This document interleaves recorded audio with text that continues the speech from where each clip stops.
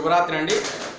ఈరోజు మనం ప్రథమంగా ఏంటంటే ఏదైతే కరోనా వైరస్ ఉందో మన రాష్ట్ర వ్యాప్తంగా మన ప్రాంత జిల్లా అలాగే రాష్ట్రము దేశం ప్రపంచం యావత్ ప్రపంచం ఈ కరోనా మహమ్మారి అనేటువంటిది విజృంభిస్తుంది.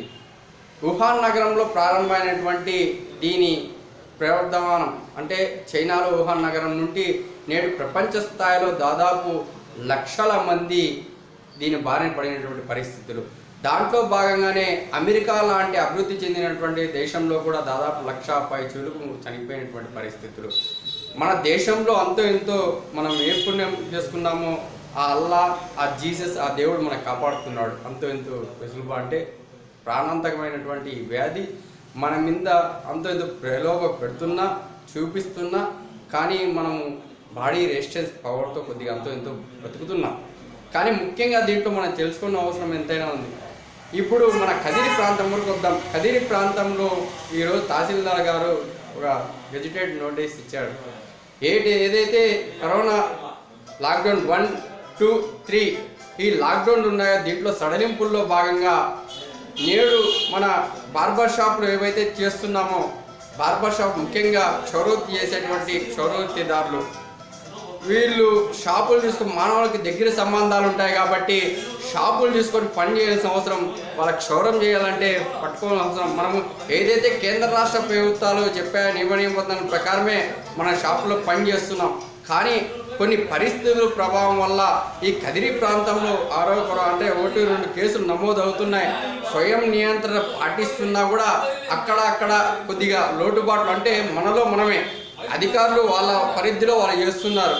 వాళ్ళ వాళ్ళ పాపము చాలా అధికారులు చేస్తున్నటువంటి అవేర్నెస్ ప్రోగ్రామ్స్ అయితేనేమి చాలా వాళ్ళు చెప్తున్నా కూడా మనం మనం స్వయం నియంత్రణ లోపంలో ఏడో లోపం జరుగుతుంది కాబట్టి ఈరోజు ఇలా జరిగినటువంటి పరిస్థితులు. దీంట్లో భాగంగా ముఖ్యంగా క్షౌరవతి చేసేటువంటి వాళ్ళు కూడా మన గౌరవనీయులు ఎంఆర్ఓ గారు ఫస్ట్ స్టార్ మేజిస్ట్రేటు ఈ కరోనా నియంత్రణ చైర్మన్ మన కదిరి ప్రాంతం కదిరి టౌన్కి సంబంధించి సార్ గారు చెప్పారు ఏదైతే షాపులు ఉన్నాయో పన్నెండు గంటల వరకే వెసులుబాటు ఉంది ఉదయం నుండి. ఇది మనం తూచా తప్పకుండా పాటించాల్సిన అవసరం ఎంతైనా ఉంది. అలాగే షాపులోకి ఇంకా నుండైనా ఇప్పుడు మనం ఎలా పాటిస్తున్నామో అలాగే సేమ్. అంటే ఇంకా ఇంకా సిస్టమేటిక్గా ఎలాంటే మనకి దగ్గర సంబంధాలు ఉన్నాయి మానవులకి కాబట్టి మనం చేసేటువంటి వృత్తి. ఈ వృత్తిలో భాగంగానే మనం ఏదైతే కస్టమర్ వస్తాడో శానిటేషన్ మొట్టమొదటి మనం పెట్టుకోవాల్సిన అవసరం ఎంతైనా ఉంది. అలాగే ఆ వ్యక్తి మీద మనకి ఆ వ్యక్తి మనకి పరిచయస్తుడా? కాదా? అతని ఫోన్ నెంబరు అతని పేరు ఒక బుక్ మెయింటైన్ చేయాల్సిన అవసరం ఎంతైనా ఉంది. అలాగే షాప్లోకి వచ్చిన తర్వాత ఆ సీటుకి శానిటేషన్ చేసిన తర్వాత ఆ వ్యక్తికి క్షౌరం చేసి అంటే షేవింగ్ లేకుండా కటింగ్ ఒకటి చేసి ఆ ఎంటుకలు కూడా ఏదైతే క్లాత్ డిస్పోజ్ క్లాత్ ఉంటుందో ఆ క్లాత్తోనే ఆ వ్యక్తితోనే పంపించిన అవసరం ఎంతైనా ఉంది. లేదంటే కస్టమర్ ఇంటికా నుండి టవాలు కొంతమంది తెచ్చుకుంటున్నారు. అలాగే ఏదైతే సిజర్ మనం చేస్తాం కత్తిరి కానీ రైజర్ కానీ అలాగే దువ్వెన కానీ మన నీట్గా కడుక్కోవాల్సిన అవసరం ఎంతైనా ఉంది. ఎలాంటి కరోనా మహమ్మారి అనేటువంటిది ఏ మనిషి కోరుకుందో మనకు అర్థం కాలేనటువంటి పరిస్థితులు కనబడుతుంది స్పష్టంగా. కాబట్టి మనము ఏదైతే కస్టమర్ దేవుని మనం దేవునిగా భావిస్తూ మనం షాప్కి యాక్సెప్ట్ చేస్తున్నాం కానీ ఆ వ్యక్తి కరోనా ఉందో లేదో ఉంటే పరిస్థితి ఏంటి? మన కుటుంబము మనము అంతే దీని బారిన పడాల్సిన అవసరం వస్తుంది కాబట్టి మనం ఏదైతే డాక్టర్లు చెప్తున్నారో ఏదైతే ప్రభుత్వ అధికారులు చెప్తున్నారో వాళ్ళని తూచా తప్పకుండా కేంద్ర రాష్ట్ర ప్రభుత్వాల గైడెన్స్తోనే మన షాపుల్లోకి వచ్చేటువంటి ప్రతి ఒక్క కస్టమర్ మన నమ్మకం ఉంటేనే మనం పని చేయాలి.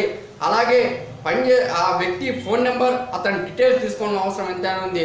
ఇది కాకుండా మనం కానీ ఆ ఏమవుతుందిలే అనుకొని చేసామనుకో పరిస్థితులు ఎలా ఉంటాయో సార్ మనం అర్థం చేసుకోవడం అవసరం ఎంతైనా ఉంది. అలాంటి రెక్క ఆడితే డొక్క అనేటువంటి నిరుపేద కుటుంబకులు మనము ఇవన్నీ పాటిస్తూనే రేపు నుండి ఉదయం ఆరు నుండి పన్నెండు గంటల వరకే తహసీల్దార్ గారు చెప్పారు. దాంట్లో మన షాపులు కూడా మన షాపులు అని చెప్పారు కాబట్టి మన షాపులు కూడా మన షాపు కూడా వర్తిస్తుంది.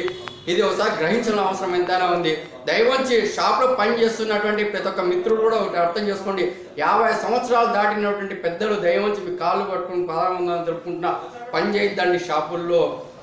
కొద్దిగా యాభై సంవత్సరాల లోపు ఉన్నటువంటి పది సంవత్సర పదహైదు సంవత్సరాల పైబడి ఉన్నటువంటి వ్యక్తులు మాత్రమే షాప్లో పనిచేయండి. అలాగే మనకు నమ్మకం ఉంటేనే పని చేయండి ఇవన్నీ తూచా తప్పకుండా కేంద్ర రాష్ట్ర ప్రభుత్వాల గైడెన్స్తో ఆ షాప్లో మనం మనం స్వయం నియంత్రణతో పాటి మన కులాన్ని మన సంఘీయుల్ని మన కుటుంబాన్ని కాపాడుకోవాలని సందర్భంగా తెలియజేసుకుంటూ సెలవు తీసుకున్నా. జై హింద్.